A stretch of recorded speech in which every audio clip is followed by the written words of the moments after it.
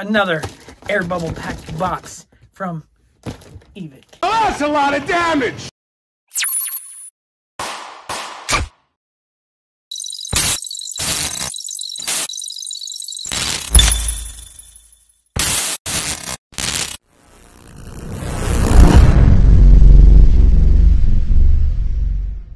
Welcome back, Gilly Crew, to another one of these fun unboxings. As you can see, it is an Evike because it is awfully taped. You can't see it. Well, that was great. Um, but yeah, it was an awful tape box when it came. I just lifted it up to show you guys how bad it was. But I'm going to do something a little different. I'm going to unbox something. I know it's in this. Um, they are a real company that has turned to airsoft and producing airsoft products. They are known as Strike Industries. So let's get into this.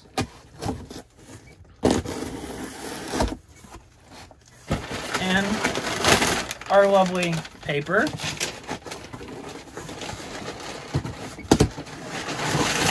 And it looks like more of it. And then looks like even more of it. At least it's packaged well in there. Is that the right way? No? It's upside down. Okay, so we'll we'll do this. And then you guys can see the branding on there. Obviously, the box is not the company I mentioned because, as I said, they are now Airsoft, so they have to have Airsoft people help them out.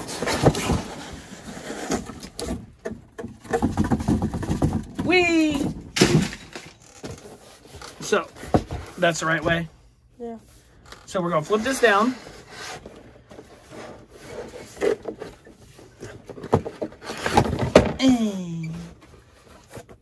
And then we're gonna maybe Hey, where are the white women at? show you guys first. Wee.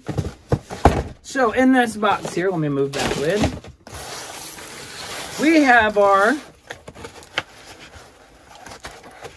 Strike Industries Airsoft AK-74 track tracks T-R-A-X with a little fancy rail dust cover.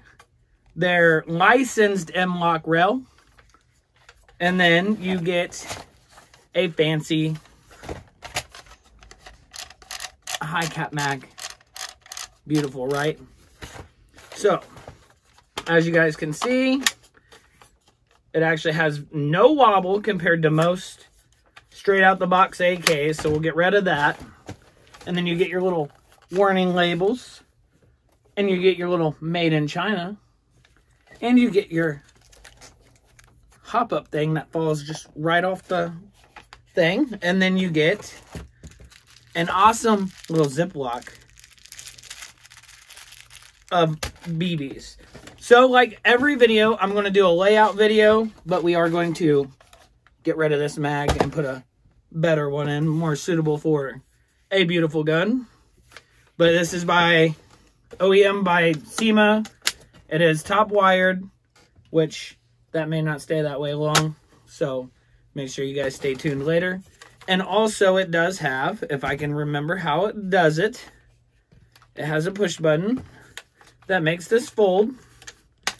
So now it is CQB ready. Does it lock though? Not very well, but that's okay. I might be doing it wrong. It's a new toy. It actually is pretty sturdy, so that's fine. We'll switch that back out. It locks back into place. Adjustable stock on it. I'm not going to tell you how many points because I always mess that up somehow. But we will do our overlay video, and I may even plug in a battery and let you guys hear what it sounds like.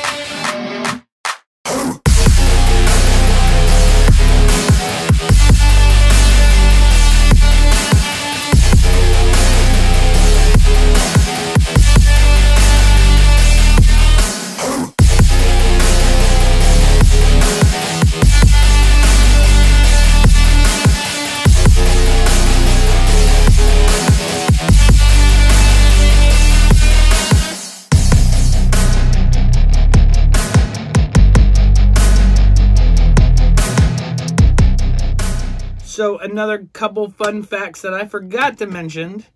This is a Tokyo Marui gearbox, as well as their uh, Keymod rail. Sorry, it's long delay there. Uh, it does have a textured grip as well. So then it actually is smooth on the hand. It's actually a lot bigger. So it's more control. It does have that nice little quick select switch. And it does have an aggressive muzzle brake, which is the orange tip, which we'll keep that on for the sake of YouTube. And then, like I said, that plenty of battery space up in the buffer tube where it actually can feed into the rail and goes in there. Since that is a two-part rail, you can even upgrade that, I'm sure, to real wood if you wanted. But let's do a quick battery test. Okay, so got it in a safe direction. No mag loaded, no BBs have been in this whatsoever. Safe mode. Semi. Into the mouth. Nice. And if I can do it one-handed, full auto. Inside there is your little hop-up adjustment. Of course, it's a little slider.